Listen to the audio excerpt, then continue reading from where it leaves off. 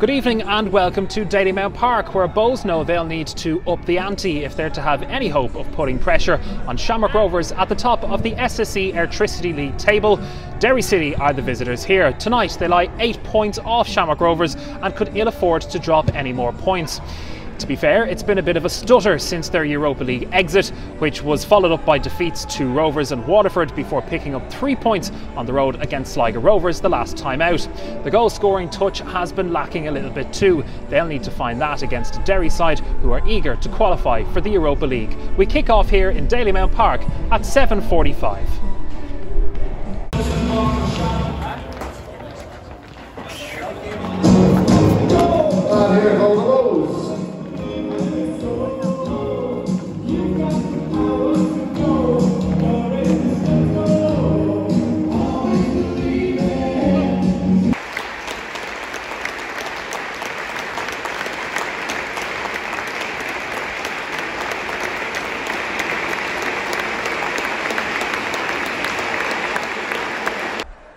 To by Danny Grant. First touch for Andre Wright. Scored the winning goal last week against Sligo. In towards Akintunde. Akintunde! And he scored!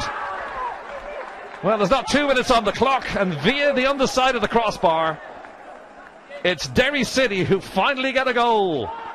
After two scoreless draws against Finn Harps and St. Pat's, they take the lead in the second minute.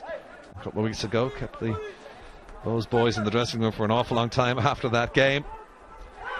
Oh, that's a strong challenge on Tierney. And is that a penalty? I think it is.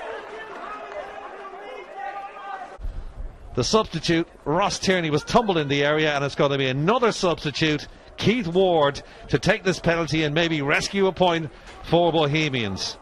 Peter Cherry stands between him and 1 1. What a finish! Keith Ward side of him just too close and had to spin away. And that's a free kick as well.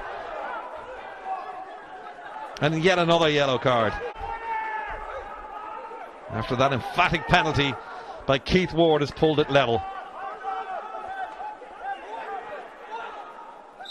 So Breslin then with this free kick for Bohemians. It's a good one as well. It's got a ping pong around the area and it's eventually forced to the back of the net by Casey. And Bohs, would you believe it, have won it? Unbelievable. And James Talbot comes to join the party, and Derry City cannot believe it. What an extraordinary finish to this game.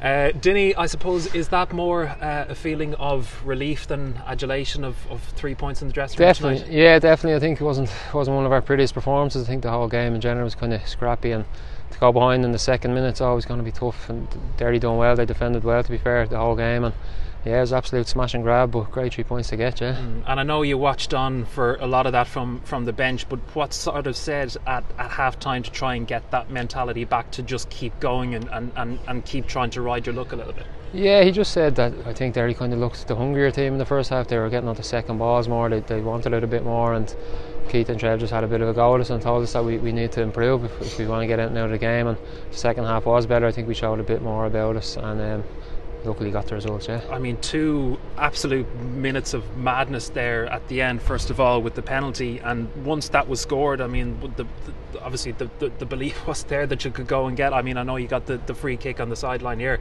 but the, the, the belief obviously there that you could go and grab the win. Yeah, absolutely. I think I think when the penalty went in, we would have took the one all draw, you know, in the circumstances. But yeah, we never gave up. There was still two minutes to play, and like you said, we got a free kick, got it in there, and it was a bit of a scramble, but landed at Dre's feet and he's finished it. So um, yeah, absolutely delighted. Overall, in terms of the complexion of the season, then how how vital is this result? Given that you know Shamrock Rovers coming into the game top of the table uh, by uh, eight points, uh, you've managed now to draw that back down to five, and now they've got to go to Dundalk, who are riding the crest of a wave at the minute.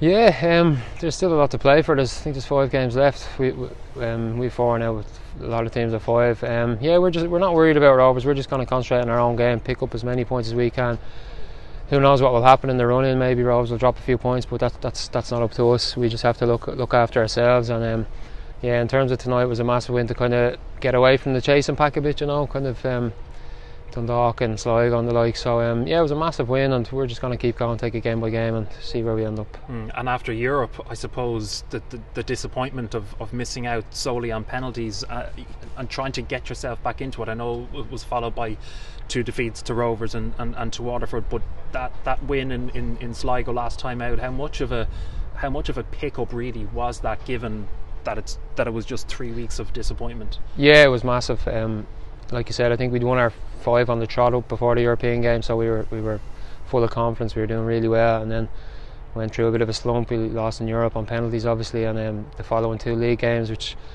which hit us a bit and knocked us back a bit, you know. But um, yeah, last week in Sligo, very tough place to go, and I think we played very well there. We we, we deserved the win, and it uh, gave gave us a lot of confidence going in today, and then like tonight, like I said, tonight wasn't pretty. It was scrappy, but we've got the three points and, and we're delighted. Mm, a Northside derby um, coming up next for you guys, and uh, I suppose in the preparations then to uh, to go off and, and, and, face Dundalk then in the next round of the cup. Um, it's going to be a huge game in terms of obviously beating your beating your rivals, obviously in the league, and, and as you mentioned, picking up all of those points, but then getting that the, the, the right level of form going into a really important cup game. Yeah, exactly. Yeah, we know next week against Shels it's going to be tough. Like you said, Dublin Derby, they're always tough, um, tense games, you know. And, and, and Shels are a good side. They're capable of, of beating uh, the, the, big, the bigger teams on their day, you know. So we're going to have to prepare like we prepare for every match. And, and like you said, with the big cup game coming up, we've been unlucky in the cup the last few years. We've knocked on the door. I think it's two semi-finals. So we'd love to go a step further and, and even win it. But um,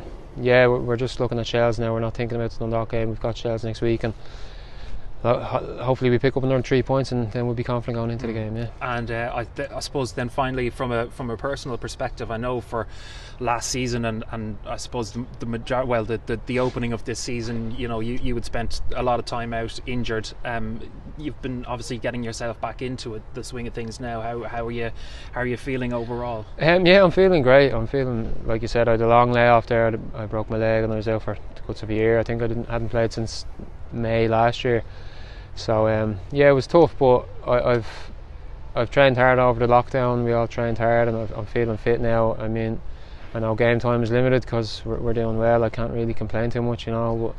But um, I'm feeling good, and I'm 31 now, but I still feel like I have a few years left of me. I, I still feel good, and um, just gonna hopefully play as much as I can for the rest of the season and see what happens. Okay, that's perfect. Thank right. you very much indeed. No problem.